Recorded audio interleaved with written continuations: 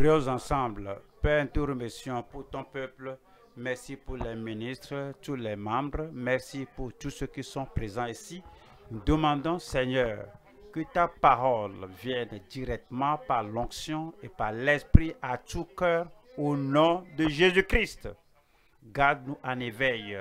Donne-nous de la compréhension et que ton esprit interprète et applique la parole à tout cœur et à tout auditeur au nom de Jésus-Christ. Nous te disons merci parce que tu nous as exaucés. Au nom puissant de Jésus, nous prions. Ce soir, nous allons étudier de 1er Corinthiens chapitre 10 et nous lisons du verset 14 jusqu'au verset 22. Voyons le verset 14. 1er Corinthiens chapitre 10, verset 14. C'est pourquoi, mes bien-aimés, fuyez l'idolâtrie. C'est très intéressant et intuitif de comprendre que le Seigneur, par l'apôtre Paul et par l'Esprit de Dieu, parle aux croyants du Nouveau Testament et parle aux gens d'aujourd'hui. Il me, parle et te parle. Et ce peut être euh, surprenant pour vous que dans le monde civilisé et à notre position dans le monde de ce jour, on ne voit pas d'idoles, des idoles dans, dans les rues. On ne voit pas d'idoles dans plusieurs lieux. Mais le Seigneur dit ici, c'est pourquoi, mes bien-aimés, fuyez l'idolâtrie. Évidemment, il parle à l'Église et il nous appelle, bien-aimés, il nous appelle croyants, les gens qui se sont détournés du monde pour se tourner vers le Seigneur et se sont repentis de leurs péchés. Ils ont cru au Seigneur Jésus-Christ. Un changement a lieu dans leur vie et maintenant ils sont en route pour le ciel. Et le Seigneur continue de dire, c'est pourquoi mes bien-aimés, fuyez l'idolâtrie. Ce n'est pas seulement de laisser l'idolâtrie seule, mais il dit fuyez. Cela veut dire que il viendra, elle viendra te confronter. L'idolâtrie de la gauche, de la droite, l'idolâtrie de la communauté viendra et dit, tu ne dois pas t'arrêter là-bas, tu ne dois pas méditer, penser avec eux, tu ne dois pas interagir avec eux, tu dois, tu dois courir spirituellement et fuir l'idolâtrie. Maintenant, tu pourrais dire que cette étude ne nous concerne pas, mais pourquoi le Seigneur nous dit de fuir l'idolâtrie? Moi, je n'adore pas les, idoles. Même avant de venir connaître le Seigneur comme mon sauveur personnel, je n'ai jamais adoré les idoles. Mais me dire maintenant qu'on étudie quelque chose qui nous dit de fuir les idoles. Et cela, lorsque tu comprends que dans le Nouveau Testament, dans la pensée de Dieu, l'idolâtrie ne veut pas toujours dire que une pierre érigée, un bois sculpté, quelque chose qu'on y met de l'eau et puis on l'adore.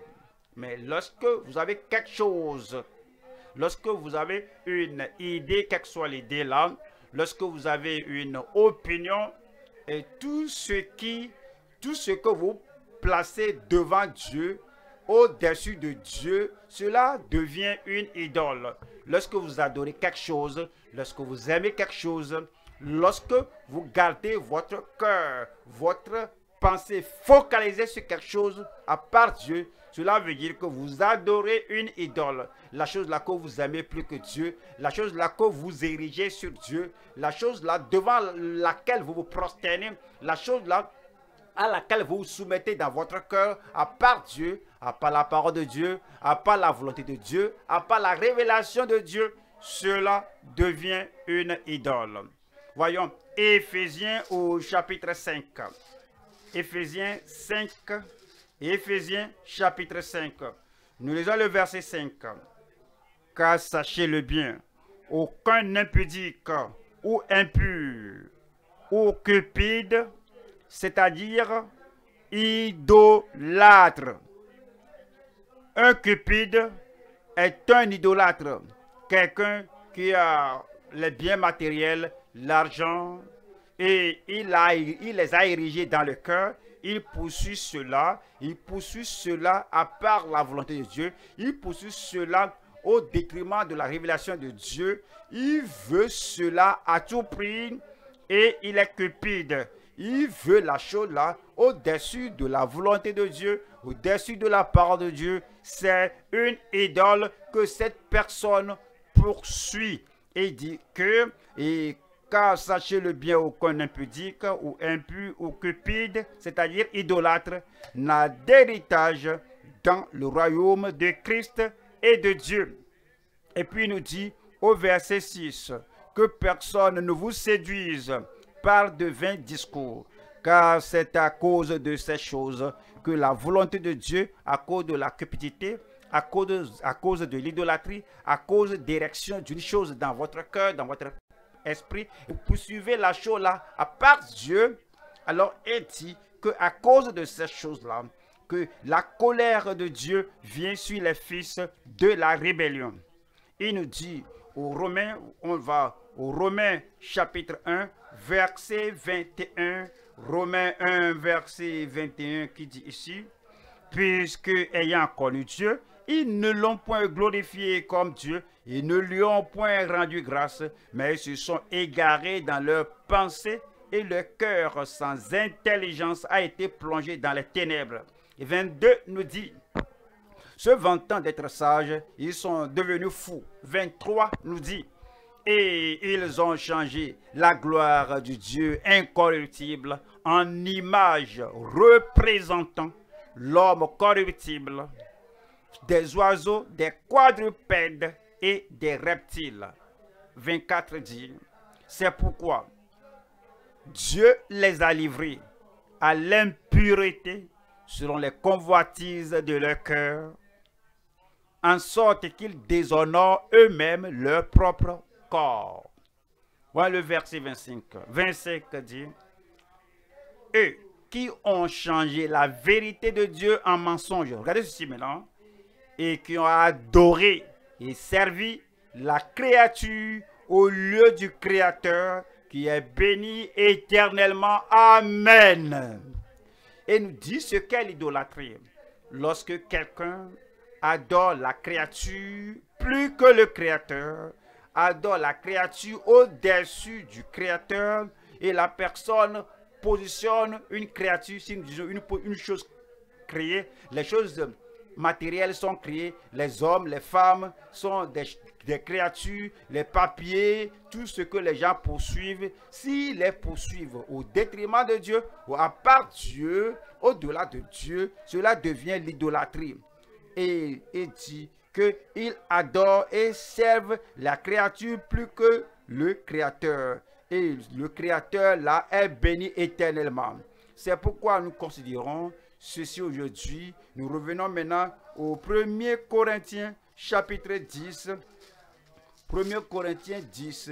Nous allons voir la, nécessité de la foi implicite au Dieu vivant. Ces idoles sont des dieux morts. Ces créatures sont des choses mortes. Si vous les exaltez, si vous les glorifiez, si vous les adorez au-delà de Dieu, à part du Dieu vivant, vous n'avez pas votre foi implicite, la foi totale, la foi absolue, la foi fondamentale au Dieu vivant. Mais c'est nécessaire d'abandonner les idoles, nécessaire de fuir les idoles et puis servir le Dieu vivant et lui seul. Nous divisons le message en trois, parties. Première partie, nous voyons l'impératif d'abandonner l'idolâtrie pour servir Dieu. C'est un impératif, un commandement, quelque chose que Dieu exige. Et c'est non négociable. C'est un impératif. Il nous, il nous commande de fuir l'idolâtrie. Numéro un, l'impératif d'abandonner l'idolâtrie pour servir Dieu. Deuxième point, c'est l'incohérence et la souillure d'idolâtrie en servant Dieu. C'est incohérent d'avoir le Dieu vivant et les dieux morts, les idoles, et vous les combinez et vous vous prosternez au Dieu euh, mort à gauche, au Dieu vivant à droite. Ça, c'est l'incohérence. Ce n'est pas propre. C'est ça, c'est souillé. C'est la souillure, l'incohérence et la souillure d'idolâtrie en servant Dieu. Et troisième point, c'est l'impossibilité de communier avec les idoles tout en servant Dieu. Ce n'est pas possible. Si vous servez Dieu, le Dieu vivant, si vous professez être sauvé, si vous professez être enfant de Dieu, si vous professez que vous êtes maintenant dans le royaume de Dieu, vous êtes dans la lumière, vous ne pouvez pas être à la fois dans la lumière et dans les ténèbres. Vous ne pouvez pas regarder en haut, regarder en bas, en bas à la fois. Vous ne pouvez pas marcher sur deux voies à la fois. Vous ne pouvez pas servir le Dieu vivant et les idoles mortes tout ensemble à la fois. L'impossibilité de communier avec les idoles tout en servant Dieu. Première partie, premier point. Revenons au premier point. On revient au, au, premier au Corinthiens. Premier Corinthiens, chapitre 10. Nous lisons le verset 14. C'est pourquoi, mes bien-aimés, t'as dit mes frères bien-aimés, t'as dit enfants de Dieu, t'as dit filles et fils de Dieu, dit les pèlerins en route pour le ciel. C'est pourquoi, mes bien-aimés, fuyez l'idolâtrie. Pourquoi? C'est comme vous voyez le feu brûler et quelqu'un dit fuis, tu dis pourquoi? C'est parce que cela va te brûler. Parce que cela va te détruire. Parce que cela va, va ruiner toute bonne chose dans ta vie. Le verset 7. Ne devenez point idolâtres comme quelques-uns d'eux. Selon qu'il est écrit, le peuple s'assit pour manger et pour boire, puis ils se levèrent pour se divertir. Ils étaient détruits à cause de cela. Le verset 8. Ne nous livrons point à l'impudicité comme quelques-uns d'eux s'y livrèrent, de sorte qu'il en tomba 23 000 en un seul jour. C'était très sévère. C'est à cause de cette sévérité, à cause de ce danger, à cause de cette gravité, à cause de ce qui était arrivé aux gens du passé. C'est pourquoi il nous dit ce jour de fuir l'idolâtrie. Nous allons aux actes des apôtres, chapitre 7, 41. Actes, chapitre 7. Nous lisons le verset 41. Il nous, il nous rappelle ce qui était arrivé aux gens qui étaient sortis d'Égypte. Il était dans le désert et il voyageait vers la terre promise. Voyons ce qui leur était arrivé. En acte, acte 7, 41. Et en ce jour-là, ils firent un veau, ils offrirent un sacrifice à l'idole. Ils firent un veau, ils offrirent un sacrifice à l'idole et se réjouirent de l'œuvre de leurs mains. Voilà le verset 42. 42 dit, alors Dieu se détourna et les livra au culte de l'armée du ciel, selon qu'il est écrit dans le livre des prophètes. M'avez-vous offert des victimes et des sacrifices pendant 40 ans au désert, maison d'Israël? Vous vous rappelez?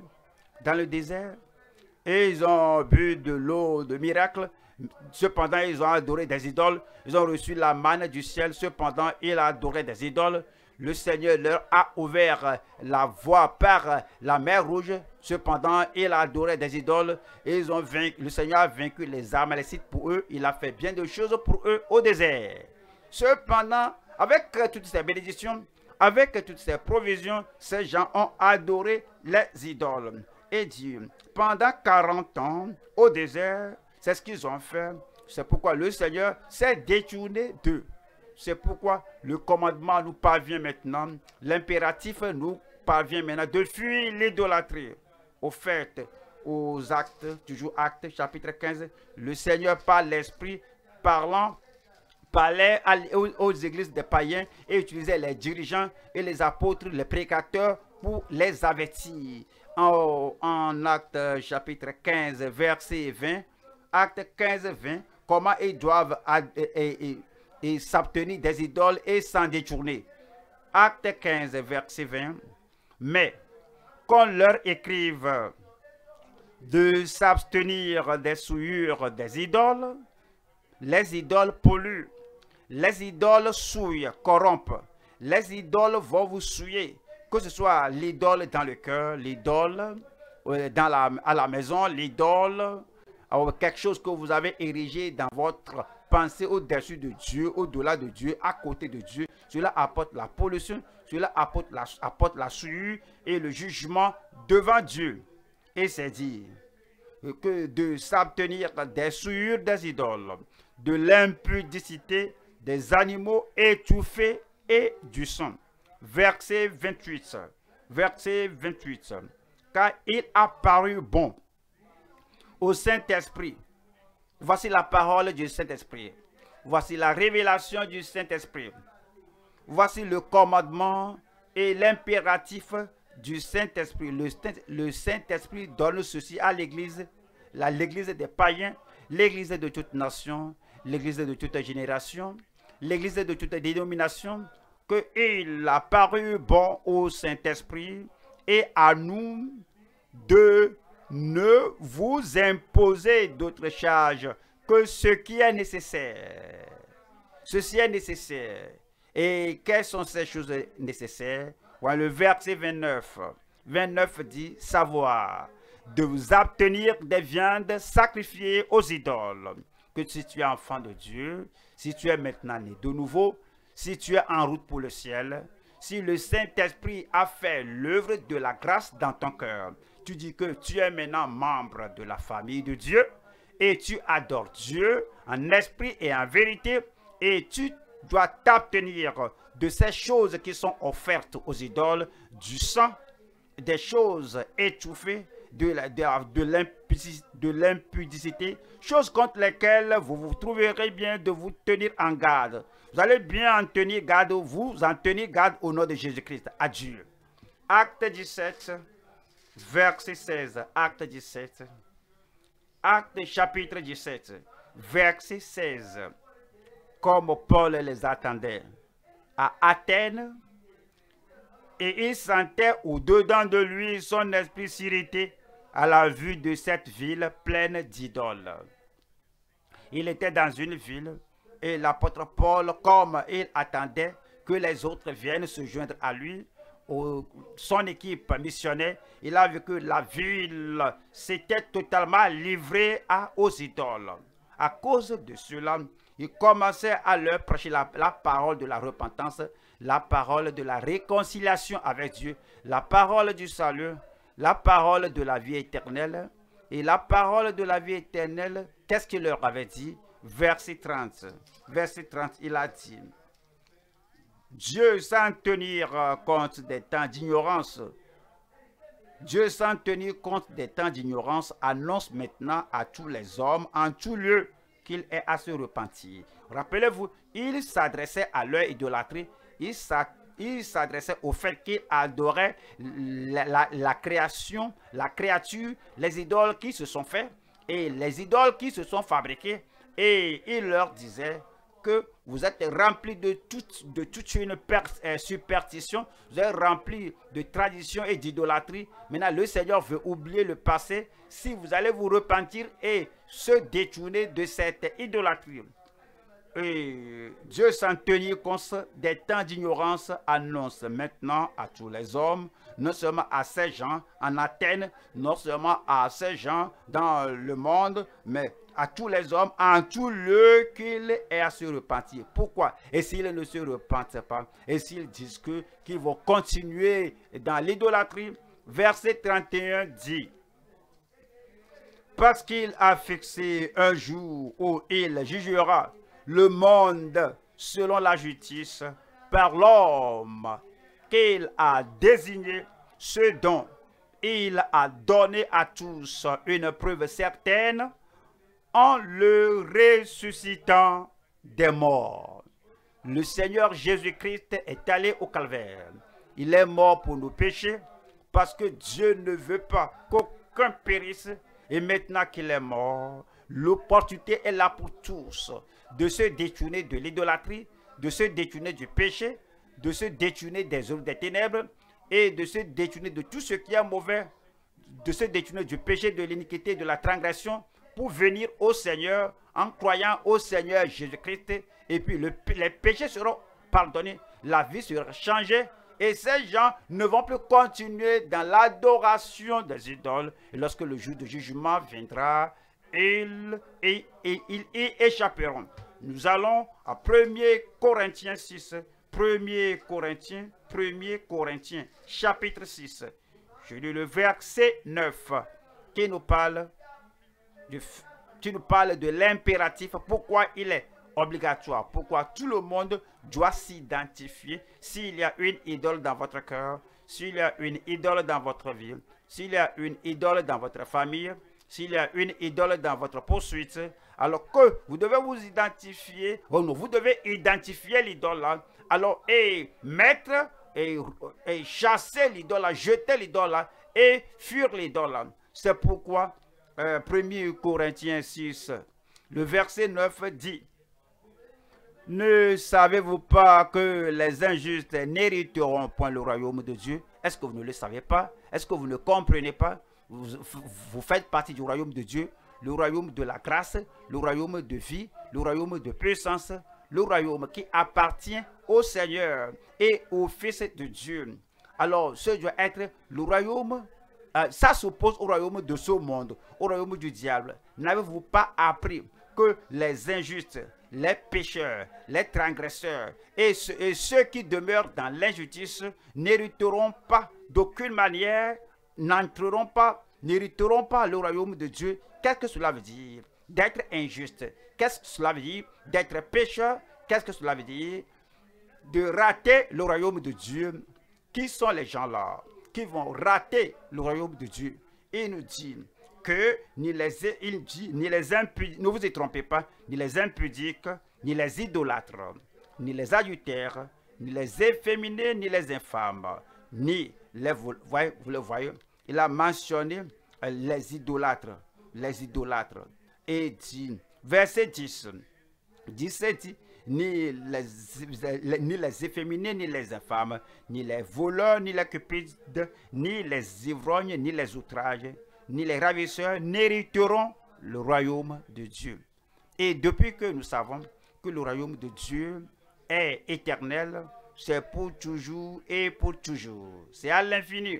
Et nous, nous allons vouloir être dans le royaume de Dieu. Nous ne voulons pas être à l'autre bord avec Satan, avec les, démons et les, et les anges déchus pour toujours.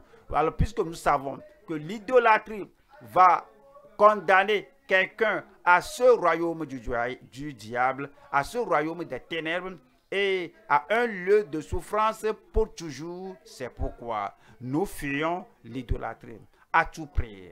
Et de toute manière, nous allons au, à 1 Jean, 1 Jean 5, 21, 1 Jean, chapitre 5, le verset 21 dit, et premier, les dit, euh, enfants de Dieu, que petits, petits, petits enfants, vous êtes nés de nouveau, enfants de Dieu, que petits enfants, vous êtes euh, petits enfants, ceux qui viennent de connaître le Seigneur, qui sont dans le royaume de Dieu, et tous ceux qui sont venus auparavant, petits enfants, gardez-vous des idoles. Gardez-vous, deuxième partie de 21 qu'il y ait une distanciation spirituelle entre vous et les idoles. Les idoles de toutes formes. Quel que soit ce qui va prendre votre cœur et l'éloigner de Dieu, quel que soit ce qui va prendre votre attention et l'éloigner de Dieu, quel que soit ce qui va vous faire vous focaliser sur la chose là, alors si vous abandonnez Dieu et vous le délaissez, alors il dit ici que gardez-vous de telles choses. Apocalypse 21, verset 8. Apocalypse 21, verset 8. Mais pour les lâches, les incrédules, les abominables, les meurtriers, les impudiques, les enchanteurs, les idolâtres, les idolâtres et tous les menteurs, leur part sera dans les temps ardent de feu et de soufre, ce qui est la seconde mort. C'est-à-dire la seconde séparation d'avec Dieu, la séparation finale d'avec Dieu, la séparation finale d'avec Dieu. Qui sont les gens-là qui, se, qui seront séparés d'avec Dieu de par toute l'éternité finale? Ils seront séparés sans, sans un changement, sans... Ils seront séparés sans avoir la possibilité de se réconcilier avec Dieu. On l'appelle seconde mort. La mort veut dire la séparation. Lorsque l'esprit se sépare du corps, c'est la mort physique. Lorsque spirituellement, parlant, on se sépare de Dieu, c'est parce que quelqu'un n'est pas né de nouveau. Ça, c'est la mort spirituelle. Lorsque quelqu'un, pour toujours, éternellement, infiniment et irrévocablement, il se sépare de Dieu, c'est la seconde mort. C'est la mort de la mort. Et alors, et les gens qui vont se séparer de Dieu pour toute l'éternité, numéro un, les, pour le mieux, les lâches. Si j'abandonne l'idolâtrie, je ne sais pas ce qu'ils vont me faire. Si j'abandonne la cigarette là, je ne sais pas ce que si je quitte là où on n'adore pas les idoles, on dit que si tu quittes ce lieu là, voici ce qui va t'arriver. Et tu mènes une vie lâche, une vie peureuse. Tu n'as pas le cœur pour mener ta vie et décider que voici la voie empruntée, voici ce que je dois faire. Tu connais la volonté de Dieu, tu connais la parole de Dieu, tu connais l'appel de Dieu sur ta vie. Mais tu ne peux pas faire cela parce que tu as peur d'un tel individu. Ce tel monsieur est devenu ton idole. Tu l'élèves, tu élèves l'homme, la femme, là, qui que soit la personne, tu l'élèves au-dessus de Dieu parce que tu as peur de lui. Il est ton idole. Si tu meurs dans cet état, ce sera la seconde mort. Et dit, les meurtriers, pourquoi les gens tuent? Ils assassinent, ils tuent parce que lui veut l'autre chose là. Une autre personne veut la chose là. Parce qu'il veut la chose là, à telle enseigne que il est allé ôter la vie de l'autre personne pour qu'il puisse avoir la maison ou bien les, biens terriens ou l'argent de la personne. Pourquoi? À cause de l'idolâtrie. Il a, il a tant ce qu'il aime, ce qu'il désire. Il veut la chose au prix de détruire la vie d'une autre personne. Et dit ici, les impudiques, alors ce, sont les adultères, les fornicateurs, les gens euh, souillés. si quelqu'un apprécie son cœur, son corps de trop que moi j'aime, je veux le plaisir, je sais que c'est illicite, je sais que c'est pécheur, je sais que c'est non scripturaire, scripturaire, mais j'aime vraiment, je veux vraiment les plaisirs de la chair. Je veux commettre ce péché, même si les gens en sont informés après tout, mais je, veux ce plaisir et tu es allé commettre ce plaisir, ce plaisir sensuel-là. Tu aimes ce plaisir, tu l'élèves, tu l'exaltes au-delà de toute autre considération. Ce plaisir de la chair devient une idole. Et on dit les, les, les maïciens. Qui sont les maïciens Ce sont les sorciers. Pourquoi ils font cela? Pourquoi ils ensorcellent les gens? Pourquoi ils pourquoi ils nuisent à la vie des gens avec la puissance occulte C'est parce qu'ils voudraient quelque chose et ce qu'ils voudraient avoir comme euh, ils voudraient avoir quelque chose en utilisant la sorcellerie, cela est devenu un poids sur eux qu'ils doivent toujours faire du mal à quelqu'un par la sorcellerie. C'est l'idolâtrie. Parce que l'idolâtrie même est l'idolâtrie. Et la magie, le désir de détruire une autre personne, la chose que tu désires devient une idole. Et il dit que tous les menteurs. Alors pourquoi dois-je mentir que si je suis, je mens, c'est parce que je veux quelque chose je protège quelque chose, je préserve quelque chose, je me protège, je me préserve. Alors, je suis très important que je dois dire à mon frère, je dois dire à ma soeur, je dois dire à mon mari, je dois dire à ma femme un, un mensonge pour me protéger parce que je me protège parce que oui, le moi est devenu très grand que si je ne trouve rien pour protéger le moi, à moi de mentir, dont je dois mentir. Alors, le moi que tu protèges avec le mensonge, les biens que tu t'acquiers, que tu possèdes avec le mensonge, le prestige que tu te gardes avec le mensonge, cela devient une idole.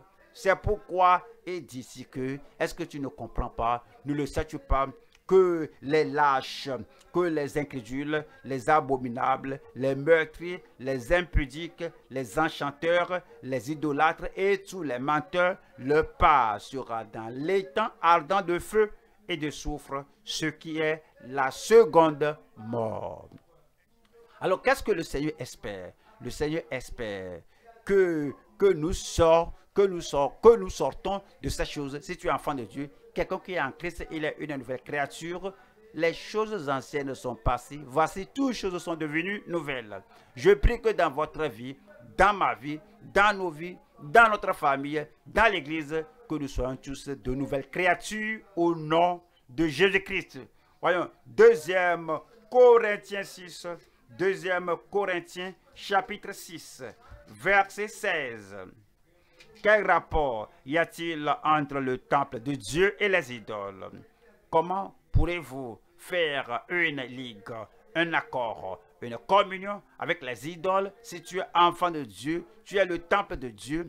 Et si tu es le temple de Dieu et le Saint-Esprit demeure en toi et la parole de Dieu demeure en toi, alors c'est dit, quel rapport y a-t-il entre le temple de Dieu et les idoles? Car nous sommes le temple de Dieu vivant, comme Dieu l'a dit. J'habiterai je marcherai au milieu d'eux. Je serai leur Dieu, ils seront mon peuple. Le verset 17 dit, C'est pourquoi sortez du milieu d'eux. C'est pourquoi sortez du milieu d'eux. Et séparez-vous, dit le Seigneur.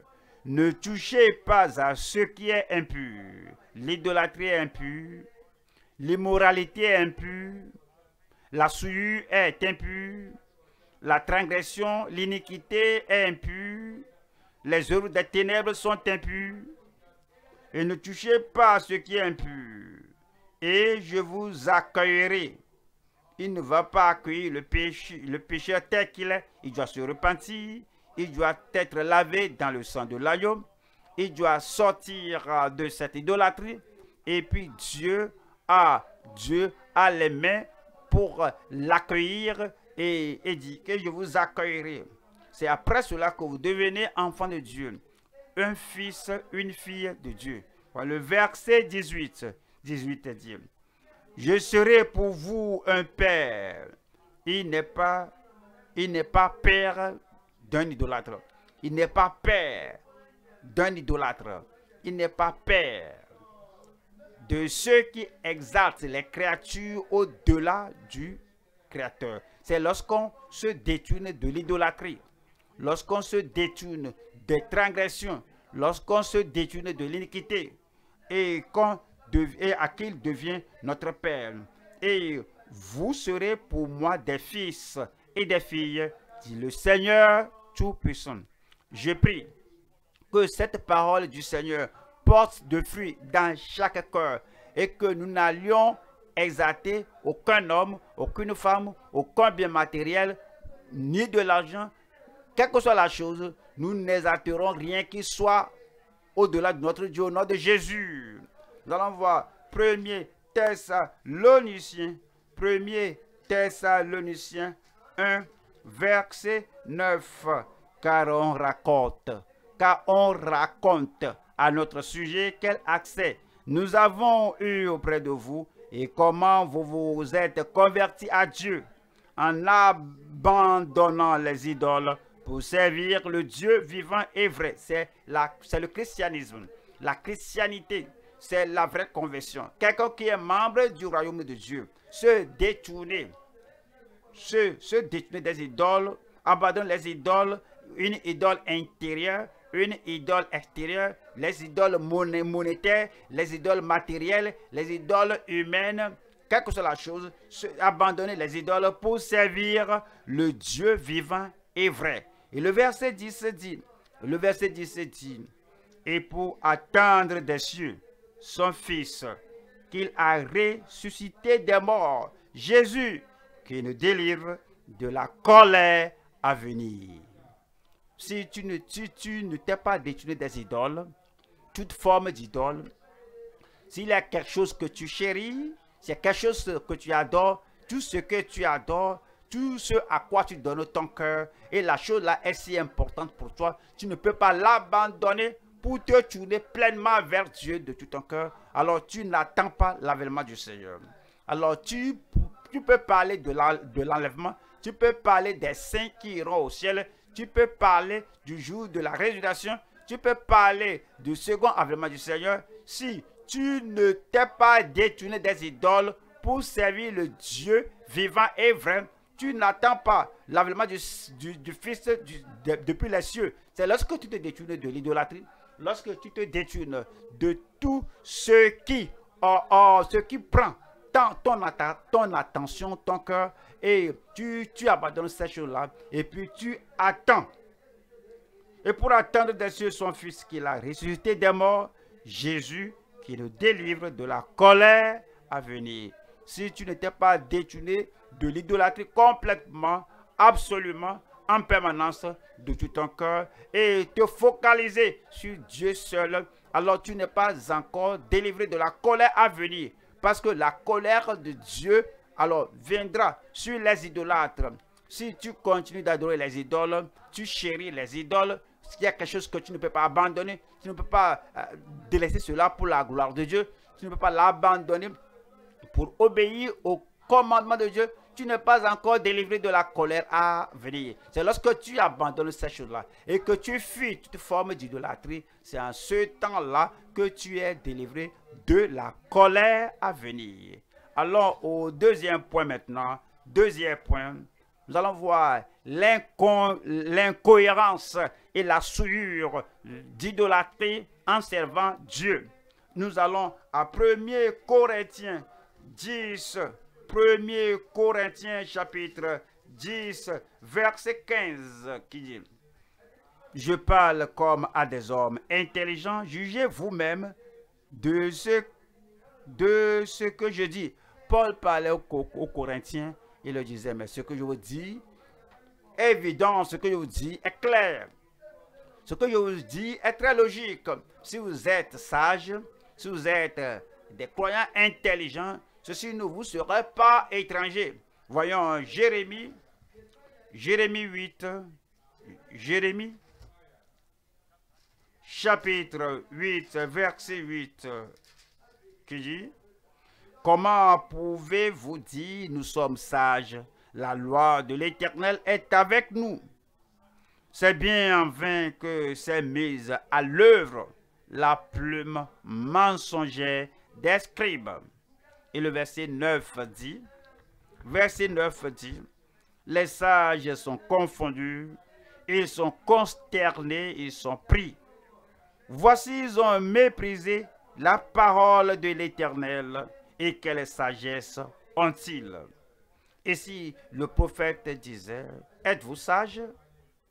Oui, nous saurons que vous êtes sage lorsque la sagesse de Dieu demeure en vous. Quelle est la sagesse de Dieu? C'est la parole de Dieu. C'est la révélation de Dieu.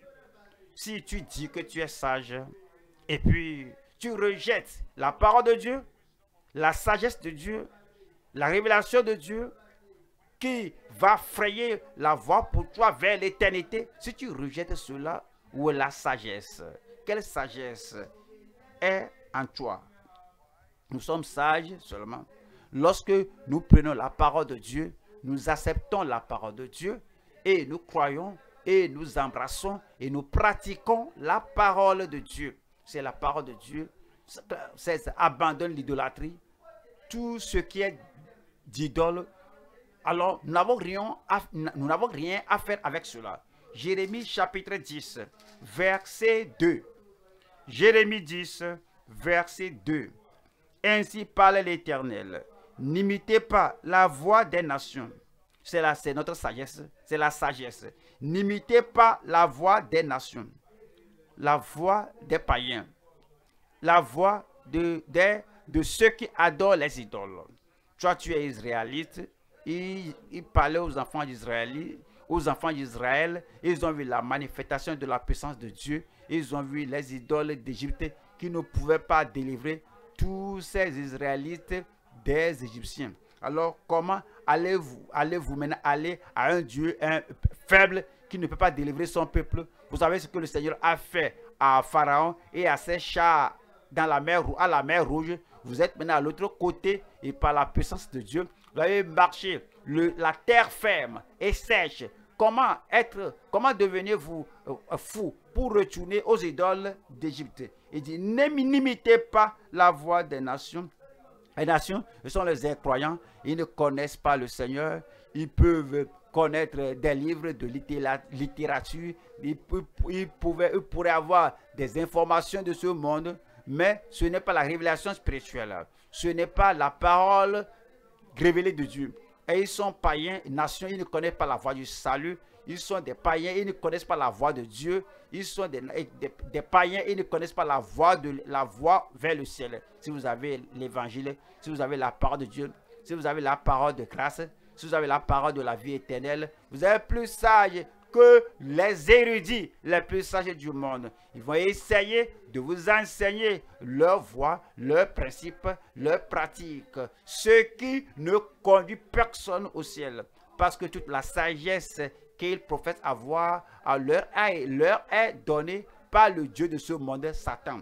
C'est pourquoi il dit, et ainsi parle l'Éternel, n'imitez pas la voix des nations et ne craignez pas les signes du ciel, parce que les nations les craignent. Nous ne devons pas imiter leur voix. Puisse le Seigneur nous préserver au nom de Jésus-Christ.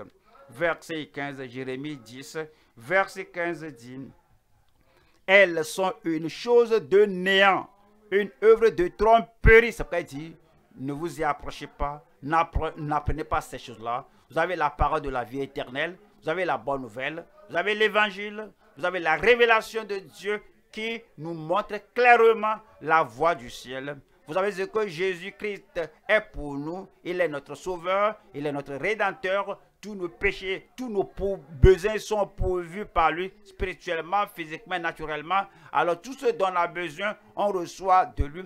Pourquoi aller vers euh, l'erreur des gens du monde? Ils sont vanités. Alors, c'est dit, sont des...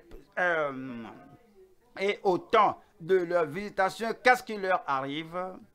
Dites-moi ce qui leur arrive. Dites-moi haute voix, qu'est-ce que vous lisez là-bas? Alors ils tous périront. Moi, je ne périrai pas. Car Dieu a tant aimé le monde qu'il a donné son Fils unique, avec quiconque croit en lui ne périsse point, mais qu'il ait la vie éternelle. Déjà, nous avons tout le message et toute la bonne chose qu'on a, l'évangile de grâce dont on a besoin afin de ne pas périr. Pourquoi maintenant allez-vous apprendre les pratiques des gens du monde? Ce qui les conduira au châtiment, à la destruction, à la perdition. Vous n'allez pas aller au monde, vous, n'aurez rien à faire avec euh, les choses des idolâtres au nom de Jésus-Christ. Psaume 115. Psaume 115, verset 4. Leurs idoles sont de l'argent et de l'or. Il les sculpte, il les moule, il les façonne et il les moule euh, dans, il les moule en image d'un homme, en l'image d'un animal, l'image d'un homme, l'image d'un homme combiné. C'est de l'or, c'est l'argent, c'est l'œuvre d'un homme. elles sont l'ouvrage de la main des hommes. 5. Elles ont une bouche et ne parlent point ces idoles. Elles ont des yeux et ne voient pas. Ces idoles, hein. verset 6 nous dit, elles ont des oreilles. Ces idoles ont des oreilles et n'entendent point. Elles ont un nez et ne sentent point. Ces idoles-là, elles sont là. Alors, si le vent, souffle, le vent souffle sur, sur eux. Si la pluie tombe, la pluie tombe sur, sur elles. Si s'il y a le vent emporte la poussière, la poussière tombe sur, sur elles. Si quelqu'un doit les prendre, on peut les prendre et les déposer quelque part. Elles sont muettes, elles sont aveugles, elles sont euh, faibles, elles sont impuissantes, elles ne peuvent rien faire. Pourquoi vous allez vous fier à ces idoles? Verset 7 dit, 7 dit, elles ont des mains et ne touchent point, des pieds et ne marchent point elles ne produisent aucun son dans leur gosier. Et le verset 8 dit, il leur ressemble. Ceux qui les fabriquent, il, il leur ressemble. Ceux qui les fabriquent, ceux qui les adorent leur ressemblent. ceux qui se prosternent à ces idoles leur ressemblent. Ceux qui font quelque chose de ces gens, croyant qu'ils sont, elles sont quelque chose, et puis ils adorent et fléchissent les genoux devant ces idoles. Ils leur ressemblent ceux qui les fabriquent. Tous ceux qui se confient en elles. S'ils sont, s'ils sont morts, ceux qui les font sont, morts. S'ils sont aveugles, ceux qui les font sont euh, euh, aveugles. Ces idoles ne peuvent pas voir le futur. Oui, dit, elles, ils leur ressemblent ceux qui les fabriquent. Tous ceux qui se confient en elles. Tous ceux qui, ben, morts, aveugles, muets, inintelligents, ne sachant pas où aller, tous, tous ces gens qui se confient aux idoles sont comme des idoles. Vous n'allez pas adorer les idoles. le verset 9. Verset 9 dit, Israël, confie-toi à l'Éternel. Il est leur secours et leur bouclier. Au lieu de suivre les païens, ou au lieu de suivre les nations, les incroyants, et adorer les idoles, et dit, ô enfant de Dieu, racheté par le sang de l'agneau, alors confie-toi à l'Éternel. Il est leur secours et leur bouclier. Il est notre secours et notre bouclier. Verset 10. Maison d'Aaron, confie-toi à l'Éternel. Il est leur secours et leur bouclier. Le verset 11 dit, vous qui craignez l'Éternel, vous qui honorez le Seigneur, vous qui comprenez la position du Seigneur, qu'il est le Créateur, qu'il est le Tout-Puissant, qu'il est l'Omnipotent pour nous et qu'il est celui-là qui ne peut pas faillir. À cause de cela, vous l'honorez, vous le révérez, vous le respectez, vous l'exaltez, vous l'adorez, vous qui craignez l'Éternel. Confiez-vous en l'Éternel. Il est le secours et le bouclier. Je prie que vous le trouviez être votre secours, que vous le trouviez être votre bouclier au nom de Jésus-Christ. Jérémie 3, verset 22. Jérémie 3, verset 22. Jérémie 3, verset 22. Revenez, enfants rebelles, ces enfants d'Israël qui se sont, qui, qui, qui sont allés à qui, qui adoraient des idoles. Le Seigneur a envoyé son serviteur vers eux, qui se repentent, qui reviennent à Dieu de tout leur cœur, et dit, revenez, enfants rebelles, je pardonnerai vos infidélités. Nous voici, nous allons à toi, car tu es l'Éternel, notre Dieu. Nous, nous allons à toi. Ils ont reconnu que adorer les idoles les, les fera, euh, adorer les idoles les fera, se les fera être perdus pour toujours. Adorer les idoles les fera être détruits pour toujours. Adorer les idoles fera que le Seigneur les abandonne maintenant et pour toujours. Maintenant, ils ont reconnu que pour dire que tu es, nous voici, nous allons à toi, nous repentons, nous allons à toi. Et dit Ézéchiel, Ézéchiel 36, 25, Ézéchiel 36, Ézéchiel 36, verset 25 dit, lorsque vous revenez à l'éternel, lorsque vous repentez, et lorsque vous venez au Seigneur de tout votre cœur, de toute votre pensée, vous venez à Dieu. Et lorsque vous abandonnez tout ce que vous avez érigé, ce que vous avez élevé au-delà de Dieu, ah, tu dis que maintenant, tu dis que je respecte l'homme, mais je ne l'adore pas. Quand tu dis que j'honore ces femmes, mais je ne les adore pas, si tu dis que ce Dieu sera mon Dieu, alors il sera au-dessus de tout homme dans ma vie, au-delà de toute femme dans ma vie, il sera au-delà de tout bien matériel dans ma vie, il sera au-delà de toute possession dans ma vie, il sera au-delà de toute position derrière laquelle les gens poussent, les gens courent. Si tu, si tu dis que j'élève, j'exalte Dieu au-delà de ces gens, je n'ai rien comme idolâtrie, j'exalte Dieu au-delà du moi, au-delà de moi-même. Je ne vais pas prendre le plaisir de la chair, de ma chair comme étant si si, si, si, si nécessaire, que je relègue mon Dieu à l'arrière-plan lorsque tu viens entièrement de tout ton cœur, de toute ton âme à Dieu et tu ne crains pas l'homme et tu ne trembles pas devant l'homme et tu n'adores pas la créature et tu exaltes Dieu et tu lui donnes la position qui lui est dû et tu l'adores lui seul. Que je répandrai sur vous une eau pure et vous serez purs? Lorsque je sais que vous, vous, revenez à moi de tout votre cœur, je répandrai sur vous une eau pure et vous serez purs. Je vous purifierai de toutes vos sueurs et de toutes vos idoles et de toutes vos sueurs, de toutes vos euh, saletés, de, de toutes vos idoles, je vous purifierai. Le Seigneur le fera. Lorsqu'il purifie, nous serons purs au nom de Jésus-Christ. L'esprit, l'âme, l'entendement, partout dans nos pensées, dans notre disposition, tout sera pur devant Dieu. Je prie, s'il ne l'a pas fait pour quelqu'un ici, qu'il le fasse pour vous. Ce soir, Dieu va vous purifier. Ce soir, il vous, il vous rapprocher de lui-même. Vous allez adorer Dieu.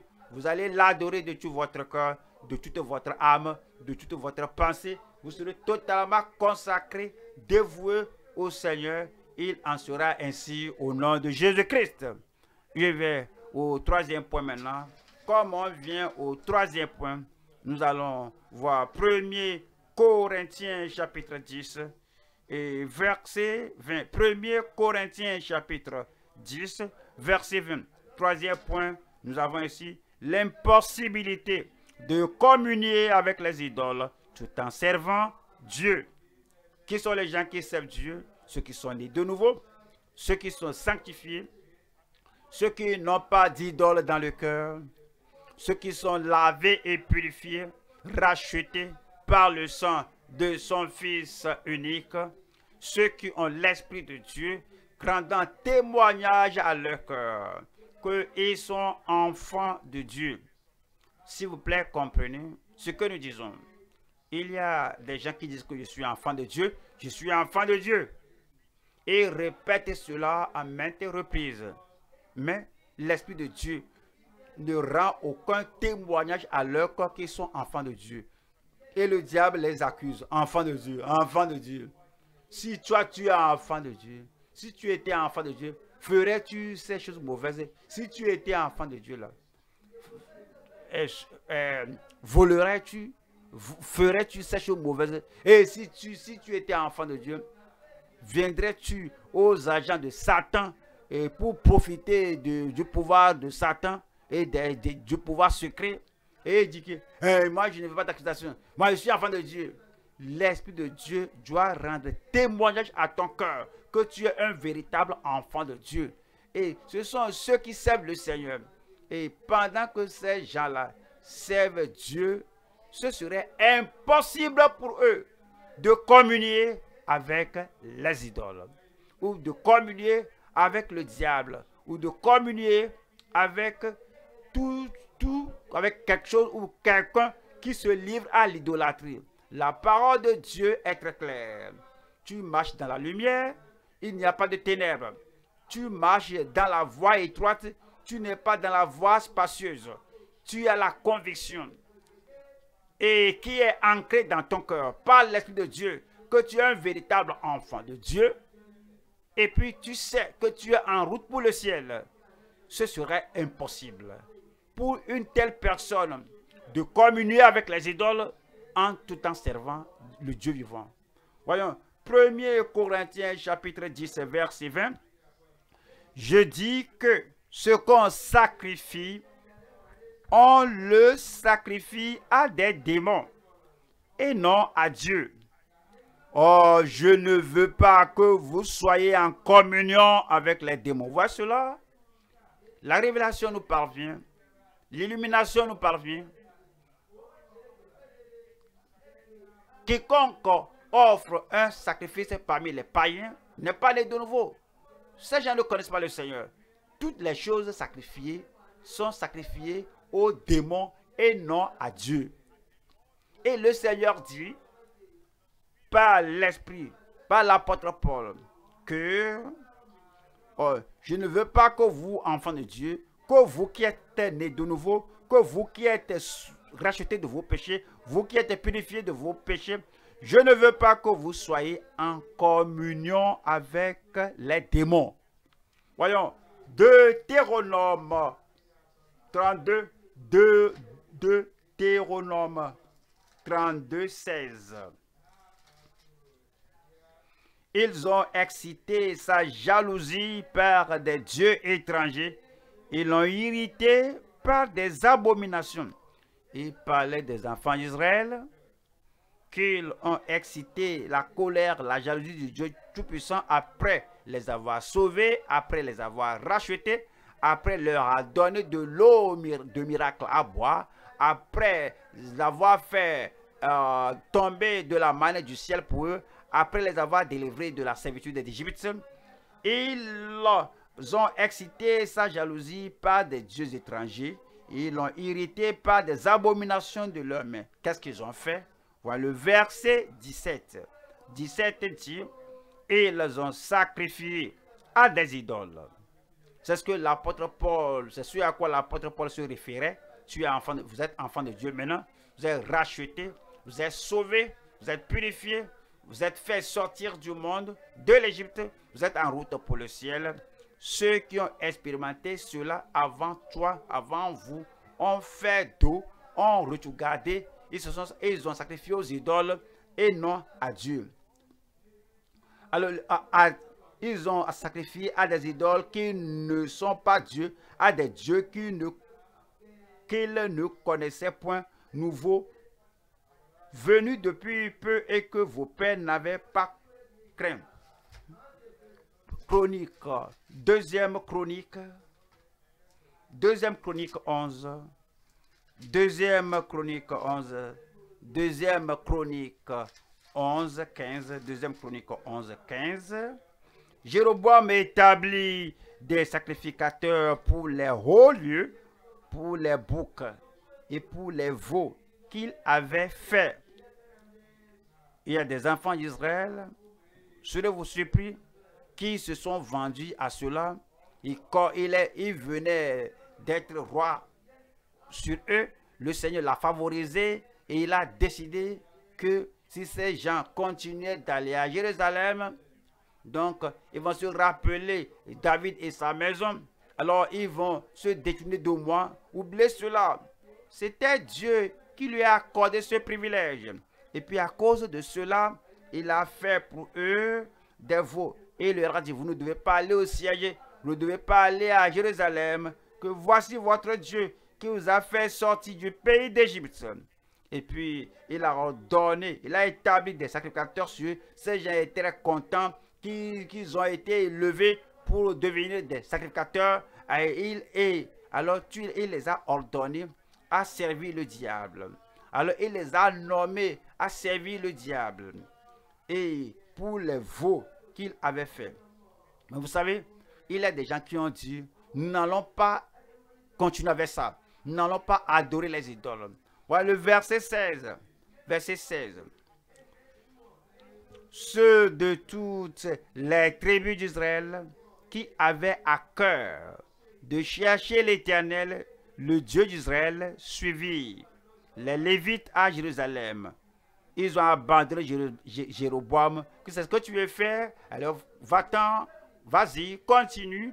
Tu veux conduire toute la nation à l'idolâtrie. Et ils ont abandonné, ils ont quitté Israël et sont venus à, à Jérusalem. Suivirent les Lévites à Jérusalem pour sacrifier à l'Éternel, le Dieu de leur père. Si tu es dans une église et on parle, on parle de Jésus, on parle de la Bible, Cependant, tu sais qu'ils adorent les idoles et ils ne sont pas fermes sur la parole de Dieu. Maintenant, tu es né de nouveau. Maintenant, tu es enfant de Dieu. Si ces gens veulent continuer, ils veulent continuer à, d'adorer les idoles et faire ce qui n'est pas selon la parole de Dieu. Voici un exemple pour toi.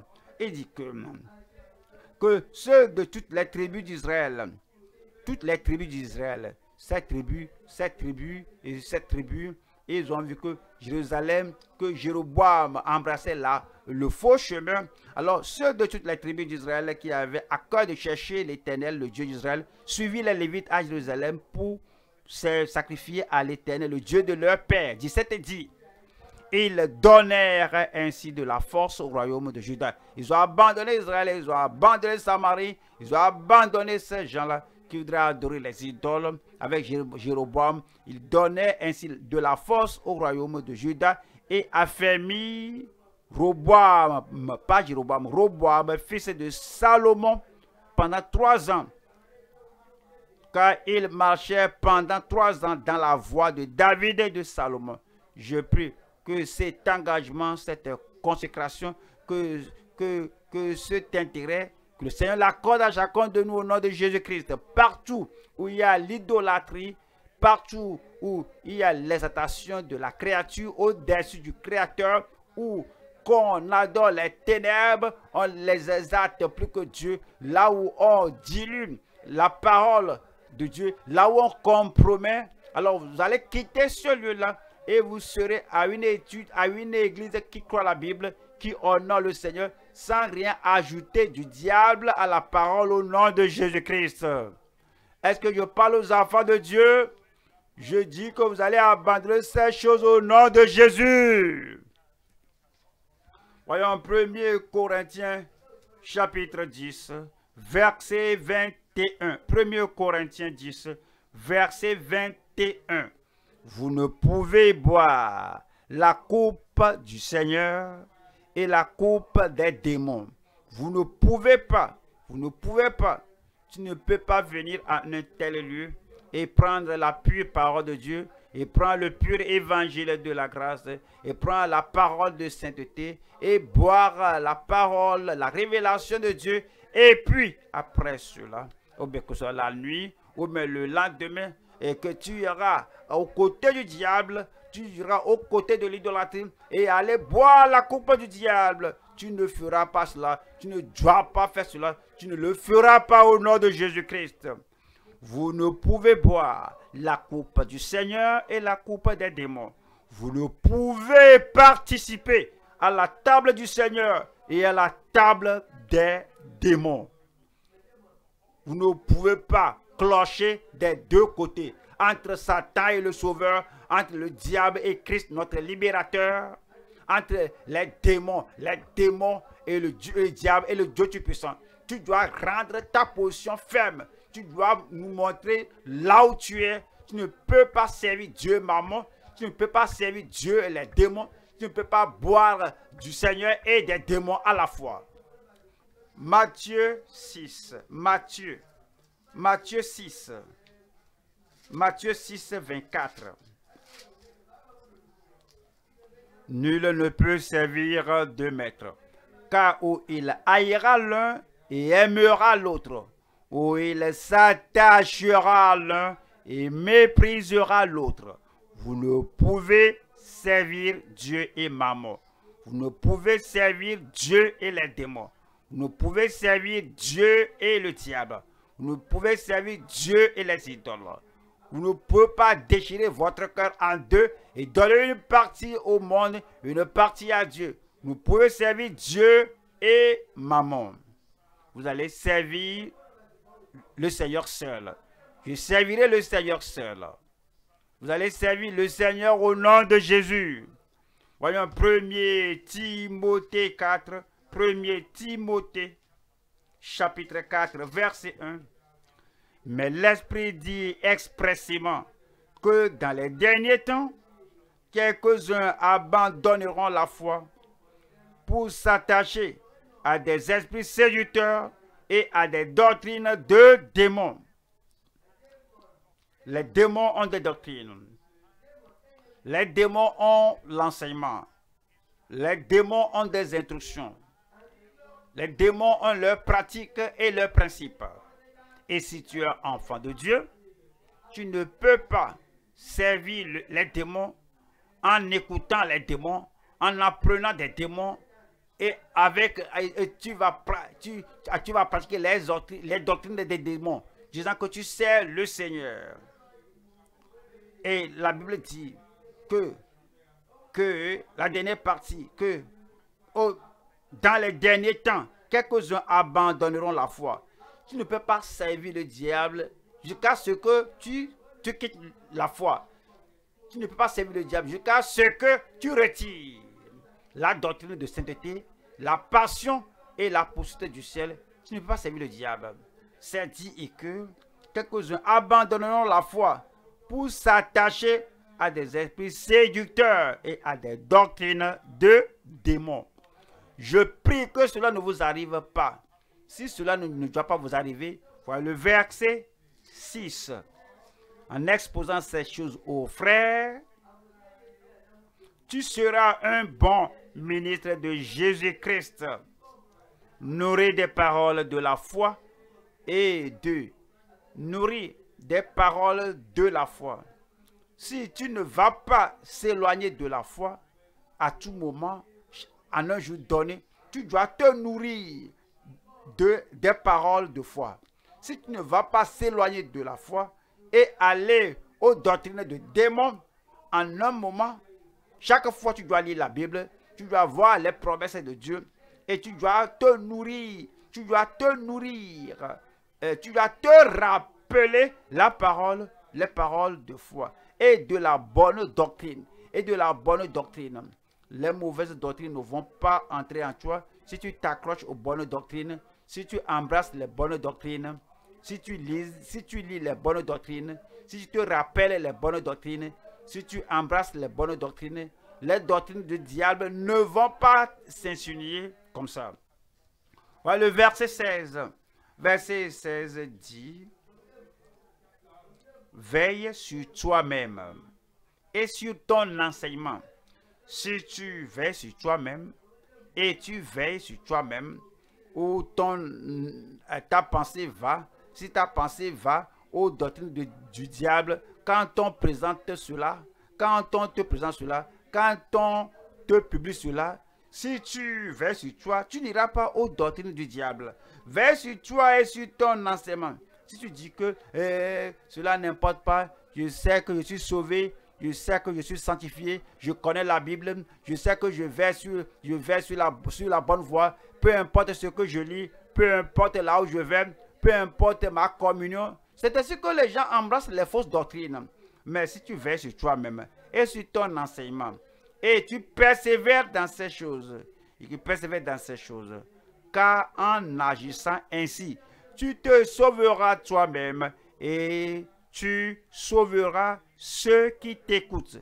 Rappelez-vous, il parlait à Timothée. Il n'avait pas de doute dans son cœur. Timothée était sauvé. Et Timothée, mon fils, dans la foi. Cependant, il disait, Timothée, tu sais quoi? Il y a des doctrines de, de diable qui seront dans ces derniers temps. Et si tu veilles sur toi-même et que tu persévères dans les doctrines, dans la bonne doctrine, et que tu te sauveras toi-même et tu sauveras ceux qui t'écoutent. Je prie que nous veillons sur nous-mêmes et que nous prenions la parole comme le Seigneur, nous la donne au nom de Jésus-Christ. 1 Corinthiens chapitre 10 verset 22. 1 Corinthiens 10 verset 22. Voulons-nous provoquer la jalousie du Seigneur? Sommes-nous plus forts que lui? Il leur rappelait, il rappelait, il disait que vous, enfants de Dieu, vous, Corinthiens, est-ce que nous provoquons le Seigneur, nous provoquons la jalousie, la jalousie, du Seigneur, sommes-nous plus forts que lui Qu'est-ce qu'il voudrait dire par là? Hmm? Retournons à Deutéronome 32, Deutéronome 32, 15. Israël est devenu gras et il a regimbé. Tu es devenu gras et paye replaît. Et il a abandonné Dieu. Il se réfère aux enfants d'Israël. Ils sont maintenant gras. Et, et il a regimbé. Tu es devenu gras, épais. Le Seigneur a pris soin d'eux il replaît, il a abandonné Dieu, son créateur. Il a méprisé le rocher de son salut. Voilà le verset 16. Verset 16 dit, ils ont excité sa jalousie par des dieux étrangers. Par des abominations, ils l'ont irrité par des abominations. C'est pourquoi l'apôtre Paul alors, alors disait aux Corinthiens, c'était arrivé à nos prédécesseurs, était arrivé à ceux qui nous ont devancés. Ils ont hérité la colère de Dieu. ils ont provoqué Dieu. Vas-tu aller vous provoquer Dieu de cette manière? Nous allons adorer Dieu et Dieu seul. Nous allons l'adorer. Je dis, vous allez adorer Dieu et Dieu seul, vous allez adorer. Matthieu 4, verset 10. Matthieu chapitre 4, verset 10. Jésus lui dit, retire-toi Satan. Pouvez-vous imaginer ceci? Que Satan, le diable, a le courage, a l'effronterie de s'approcher de Jésus après que le Saint-Esprit est venu sur lui sous forme d'une colombe, après que le Seigneur, le Dieu du ciel, a parlé voici mon fils bien-aimé, en qui j'ai mis toute mon affection. Après que le Seigneur a jeûné 40 jours, 40 nuits, cependant le diable avait le courage de s'approcher de lui pour le dire que, que prosterne-toi et adore-moi. Je vais, te donner quelque chose. Si le diable peut faire cela à Jésus, notre Seigneur et Sauveur, le Fils éternel de Dieu, ah, que penses-tu de toi-même? Mais Dieu merci, Jésus a vaincu. Vous allez vaincre, vous allez vaincre. Donc, Jésus lui a dit, Jésus lui a dit que arrière de moi Satan, car il est écrit que tu adoreras le Seigneur ton Dieu et tu l'adoreras seul. Retire-toi Satan, car il est écrit, tu adoreras le Seigneur ton Dieu et tu le serviras le seul. C'est ainsi que nous nous comportons et que nous ne provoquons pas le Dieu du ciel. Lorsque nous nous, nous donnons la place qui lui est due et lui seul, lui seul, nous adorons. Et lorsque vous abandonnez toute autre chose, toutes les choses matérielles, tous les biens de Satan, tu dis que j'exalte Dieu, le Dieu du ciel, au-dessus de toute chose, de tout homme sur terre, et le seul je vais servir, le Seigneur serait content de toi. Le Seigneur va te, bénir abondamment au nom de Jésus-Christ. 1 Samuel 7. 1 Samuel. 1 Samuel chapitre 7, verset 3.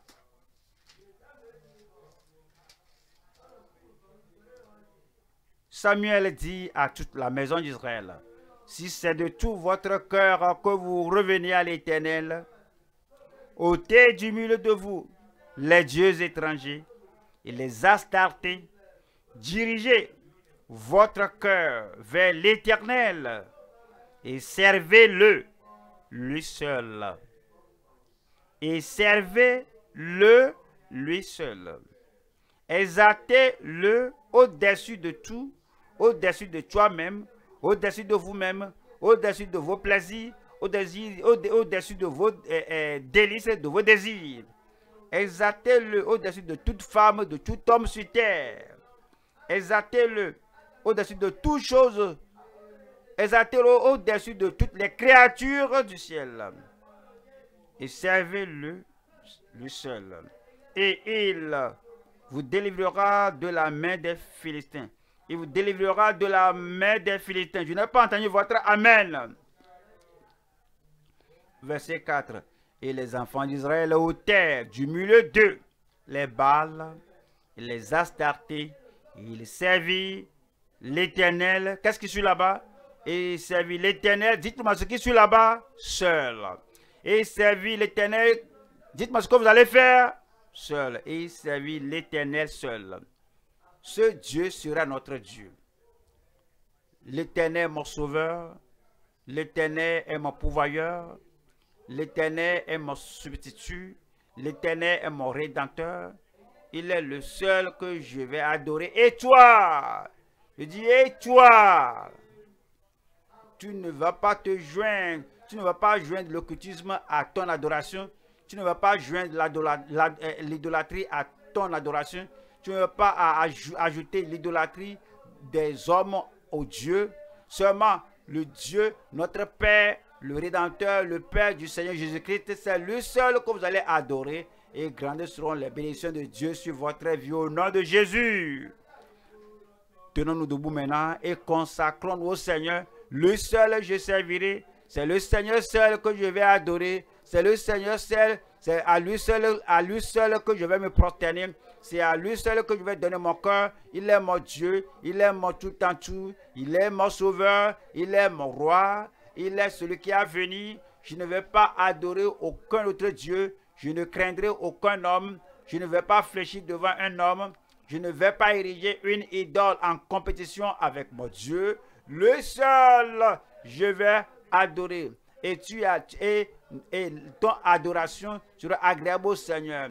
Élève ta voix et donne-lui l'assurance et confirme qu'il est ton Dieu et le seul tu vas adorer.